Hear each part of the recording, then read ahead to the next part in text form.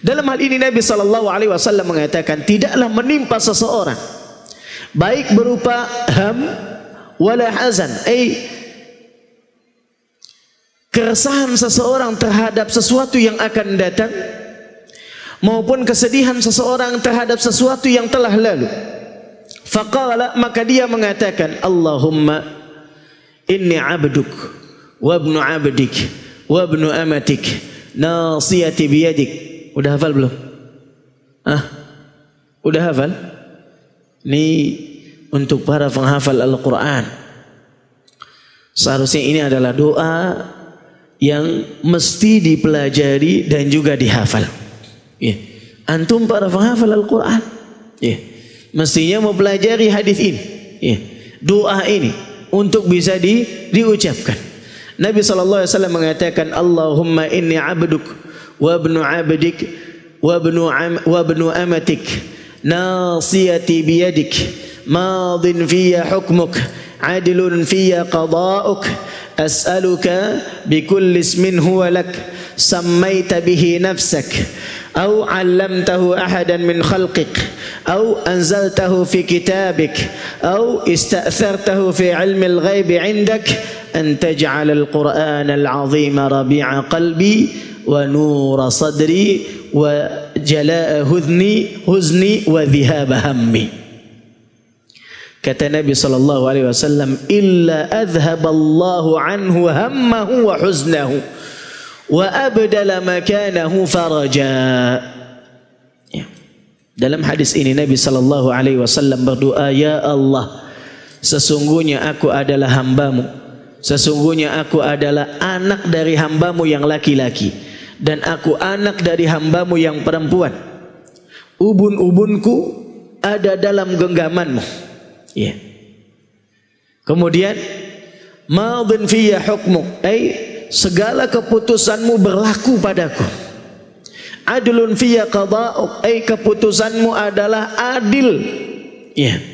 Keputusanmu terhadap diriku adalah keputusan yang adil. Adlun fiya qada'u as'aluka bi kulli ismin huwa lak. Perhatikan di sini. Aku meminta kepadamu dengan seluruh baik bertawasul dengan seluruh nama-namamu. Ya. Samaita bihi nafsak. Engkau menamakan dirimu dengan nama itu. Au allamtahu ahadan min khalqik. Atau engkau mengajarkan kepada seseorang dari hambamu dari makhlukmu au anzaltahu fi kitabik. Atau engkau menurunkannya di dalam kitabmu. Au ista'thartahu fi ilmi al-ghaibi indak. Atau engkau simpan di dalam ilmu gaib yang ada di sisi ya. An taj'al al-Qur'an al-'azim rabi'a qalbi. Agar supaya engkau menjadikan Al-Qur'an sebagai penyejuk hatiku. Ya. karena kalau ada masih ada penghafal Al-Quran yang dia senantiasa setiap harinya membaca Al-Quran dan apa? Baca Al-Quran ini menjadi sesuatu yang membosankan buat dia. Bikin penat capek ini berarti bermasalah. Ya. Bermasalah hatinya.